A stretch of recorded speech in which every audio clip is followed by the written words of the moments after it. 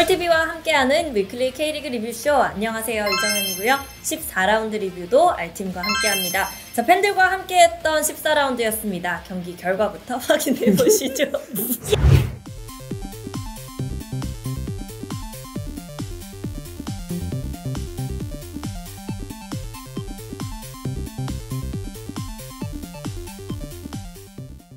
네, 14라운드 경기 결과 확인해보고 오셨습니다. 저희는 이번에도 직접 취재를 갔던 세 경기를 중심으로 분석해보도록 할 텐데요. 먼저 R팀, 이번에는 인사를 건너뛰었는데 서운하셨죠? 아유 그냥 뭐 아, 그래요? 어떻게 지나간지 모르겠습니다. 알겠습니다. 어, 저희는 첫 번째로 R팀이 직접 갔다 왔던 인천 대 광주의 경기 살펴볼 텐데요. 광주가 드디어 지긋지긋한 없을 무 승리승, 무승 에서 벗어났어요. 네 최근에 이제 1무 5패로 굉장히 부진에 빠졌었는데 인천을 상대로 원정이었지만 3대1 역전승을 거뒀고요.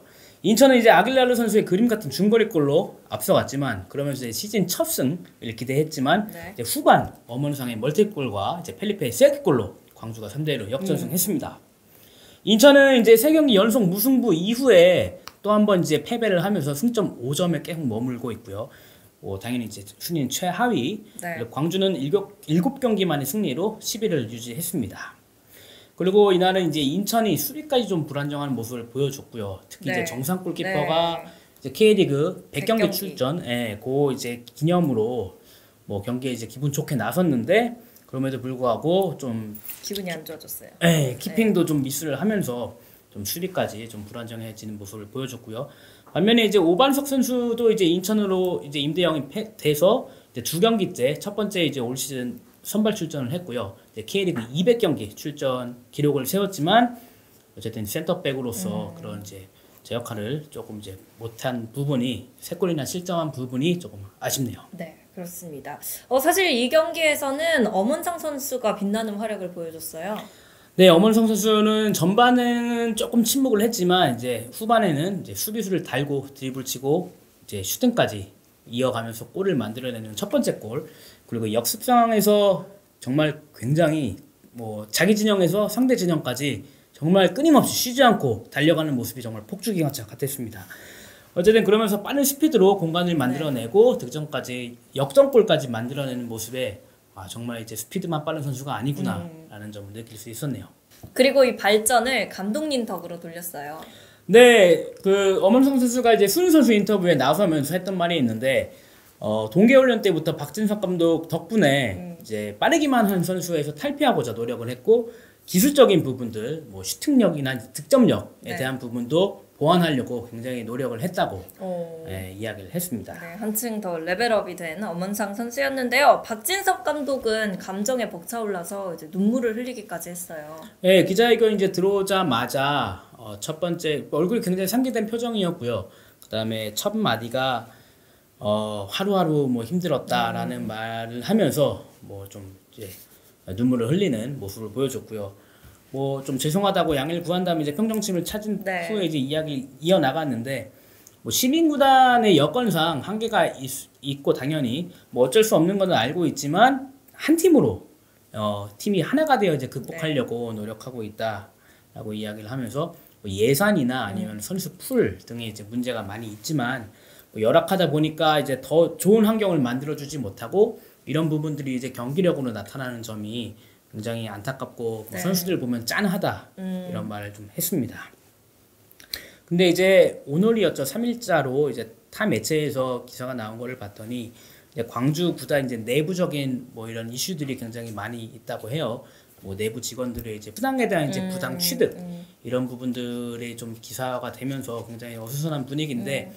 뭐 박진석 감독의 눈물이 사실 이런 어려운 상황에서도 굉장히 이제 선수단을 이끌어가면서 네. 예, 그런 힘든 점, 현실적인 어려움을 토로했던 부분들과 선수들한테 고마운 네. 뭐 그런 거기에 대한 눈물이 아니었나 음. 이렇게 생각이 듭니다. 그래도 앞으로는 웃을 일이 더 많았으면 좋겠습니다. 어, 저게 뭐예요? 아 이거요. 네. 어 깜빡하고 그냥 넘어갈 뻔했는데 이제 네. 인천 구단에서 이제 유관중으로 전환이 됐잖아요. 네. 인천에 이제 그 경기 날한 1,900명 오. 정도 되는 이제 관중이 이제 입장을 했는데 네. 그 1,900명 입장한 관중들 자리마다 이거를 다 놨어요. 이제 편지인데 네. 받아왔습니다. 네. 오, 보면은 선수들이 그 편지에 네. 직접 그 수필 저 자필로 네. 예, 뭐 감사합니다 사인도 하고 이름을 또 네. 해주면서 오랜만에 이제 팬들을 만나는 거니까 네. 거기에 대한 이제 감동을 좀 주려고 이런 부분들. 소름 돋았어요. 너무 감동이었을 것 같아요. 그래갖고 제가 직접 네. 이제 팬들한테 한번 물어봤거든요. 어떠냐 그랬더니 아 정말 이런 것까지 준비해줘서 너무 고맙다고. 네. 물론 경기 전이었습니다. 네. 경기가 좀 승리로 끝났으면 더 좋았, 좋았을 네. 뻔했는데 어쨌든 이런 작은 선물까지 인천 구단이 준비를 하면서 예, 관중들에 대한 배려 아, 이런 멋있습니다. 했습니다. 자, 이어서 저희는 부산 대 울산의 경기 살펴볼 텐데요. 어, 울산이 2대1 승리를 가져갔는데 이날도 주니어가 결승골을 터뜨렸어요. 사람이 아니에요. 14경기. 18골. 예, 아참 박력 있게 네. 이야기를 하시네요. 이렇게 해달라면서. 네, 이날도 주니어 선수는 이제 후반에 투입이 됐는데도 불구하고 뭐 투입된 지 얼마 시간이 지- 지나지 않아서 네. 뭐 팀의 결승골이자 이제 자신의 18호 골 네, 거의 기록을 5분 만에. 했고요. 네. 네. 이게 좀 14경기 뛰면서 18골 호골을 예, 집어넣은 걸 보면은 이제 그 페이스 자체가 뭐 과거에 이제 최다골 K리그 역사상 최다골을 넣었던 이제 네. 데얀 선수 의 시즌당 최다골을 뭐 능가할 수도 있지 않을까. 물론 경기 수는 굉장히 네. 줄었지만 네, 그런 페이스라고 지금 생각이 되고 있고요. 어, 비욘 존슨의 패스를 받은 윤빛가람이 이제 첫 번째 선제골을 넣었어요. 그렇지만 이제 후반에 어, 사- 화성 FC에서 이제 이- 이적한 여름 이적 시장을 통해서 이적한 김현 선수가 부산의 동점골을 뽑아냈고요. 그 다음에 이제 김동훈 감독은 주니어를 투입을 시켰는데 주니어를 투입하면서 했던 말이 있다고 해요. 뭐 역할은 하나다. 어, 득점만 뽑아내면 된다라는 주문을 했는데 주니어 선수는 뭐 그 주문을 이제 또 확실하게 수행을 했는데 또 보면은 올 시즌에 주니어 선수 발 앞에 공이 많이 떨어집니다. 어, 네, 게- 이, 이, 이번에도 이제 네. 김문환 선수가 비현전순 선수의 헤딩을 이제 막아내면서 어떻게든 1차적으로 선방을 했지만 또 그 공이 하필이면 또 주니어 선수 발 네. 앞으로 가더라고요. 그래서 이제 리바운드 볼을 따내면서 예, 득점을 올리는 그런 좋은 모습을 보여줬네요. 근데 그게 운이에요? 아니면 주니어 선수가 필요할 때마다 그 자리에 가 있는 거예요? 뭐 복합적인 건데 일단 위치 선정이 좋다고 말할 수 있겠고 그 다음에 뭐 좀 운도 조금 작용되지 않았나. Lucky guy. 예, 워낙에 이제 흐름이 좋고. 예, 컨디션이 좋다 보니까 그런 운도 따라오지 않나 생각이 듭니다. 운도 실력인데. 아 그럼요 실력도 운이고 실력도 운도 운이- 실력이죠. 아니 실력이 어떻게 운이에요? 한편 부산은 이정협 선수가 안 나왔어요. 네 이정 이정협 선수가 지난 경기 이제 전반전을 마치고 어, 교체 아웃되면서 햄스트링 쪽에 좀 이상이 생겼다는 이야기를 했는데 뭐 이날도 조금 아직은 그 완벽하게 돌아오지 못해서 빈치싱코 선수가 대신해서 선발 출전을 했고요. 뭐 울산도 사실 이제 주중에 FA컵 여파로 이제 굉장히 로테이션을 많이 가동을 했습니다. 뭐 말씀드렸듯이 주니어 선수가 이제 휴식을 취하고 네, 박주호 선수도 왼쪽 네. 풀백으로 계속 요즘 최근에 선발로 많이 투입이 됐는데 이날은 휴식을 취하고 홍철 선수가 대신 출전을 했습니다. 그리고 뭐 중원에도 뭐 고명진이라던가 이제 측면에 이상원 이런 선수들이 기회를 좀 많이 선발로서는 받지 못했는데 이날 경기는 선발 출전을 하면서 팀 승리를 이끌었습니다. 그렇습니다. 어, 여러모로 울산이 이번 경기가 일거양득이었던 것 같아요. 그죠 주축 선수들한테 휴식을 부여하면서도 승점 3점을 챙기면서 부동의 선두를 유지를 했고요. 부산으로서는 이제 로테이션을 쓰는 울산을 상대로 뭐 네. 승점을 좀 따낼 수 있는 그리고 홈이 홈이었고요. 그런 좋은 기회였는데 약간 이제 마무리 부족, 특히 이제 뭐 이동준 선수라던가 이제 빈츠 신고 이런 선수들의 아쉬웠던 마무리 때문에 승점을 1점도 가져가지 음. 못하는 결과를 얻었습니다. 그렇습니다. 조덕재 감독 입장에서는 좀 아쉬울 것 같지만 김도훈 감독은 이번 경기 굉장히 만족스러워하는 모습이었어요. 네, 일단 결과를 가져와서 기쁘다는 이야기를 했고 실점을 내준 후에도 이제 경기를 이길 수 있다는 힘을 보여줬다 보여준 거에 거에 굉장히 만족스러운 모습을 나타냈고요. 그동안 이제 기회가 적었던 선수들의 활약을 통해서 중요한 승리를 거뒀다는 이야기를 했습니다. 음, 네, 얻어가는 게 많았던 울산이었습니다. 반면 승패를 떠나서 부산 팬들에게 이번 경기는 굉장히 중요한 경기였잖아요. 네, 약 5년 만에 이제 부산 팬들이 K리그 원 경기를 직관했던 경기라고 할 수 있고요. 다만 이제 부산은 그 관중 허용이 이제 10%가 됐잖아요. 근데 이 부산은 이제 5% 어. 관중석만 이제 허용을 하면서 지정된 좌석 외에는 이제 테이핑을 일일이 붙여가면서 음. 어, 아무도 못 앉게 네. 원천 봉쇄를 하는 모습을 어. 보여줬고요. 뭐 정확한 이유는 모르겠지만 어쨌든 이런 뭐 좀 적은 관중만 허용했던 거는 네. 뭐 이제 같은 동네에 있는 야구팀 뭐에서 조금 나왔던 이슈들 네. 이런 사회적 이슈들을 조금 더 반영한 음, 게 아닌가 네. 하는 생각도 해봅니다. 그리고 거리두기 확실하게 하라는 그렇죠. 어, 네, 부산이었던 것 같습니다. 코로나 조심해야겠고요. 이어서 수원과 대구의 경기 살펴보겠습니다. 대구가 1대0 승리를 가져갔는데 에드가가 돌아오자마자 좋은 모습을 보여줬어요. 네, 에드가가 이제 부상 복귀 신고골을 터뜨리면서 팀 승리를 이끌었고요. 대구 입장에서도 이제 창단 이래 그 수원 월드컵 경기장이자 빅버드에서의 첫, 첫 번째 승리를 네. 거두면서 감격적인 이 날을 맞이를 했습니다.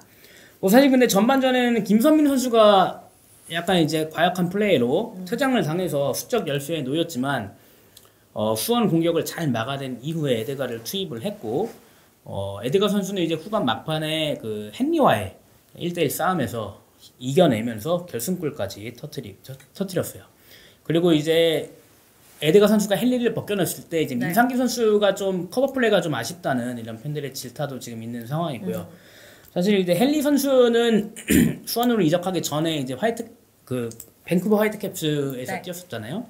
그 MLS 이제 서부 컨퍼런스에 있는 팀인데 뭐 황인범 선수랑 팀 동료였고 어쨌든 이제 서부 컨퍼런스 12개 팀 중에 최다 실점 3위를 했던 지난 시즌에 그런 팀의 센터백 출신으로 뭐 K리그에 와서는 이제 약간 느린 발이든지 이런 자신의 약점을 이제 뭐 굉장히 좋은 조건이 이제 피지컬이나 이런 네, 부분들로 네. 잘 극복을 했지만 이날은 이제 힘 좋고 발기술까지 좋은 에드가랑 그 순간적인 1대1 싸움에서 패배를 하면서 실점을 내줬습니다. 그렇습니다. 또 이병근 감독 대행은 김선민 선수가 퇴장을 당하니까 이제 에이스 세징야 선수를 빼는 과감한 용병술을 보여줬어요.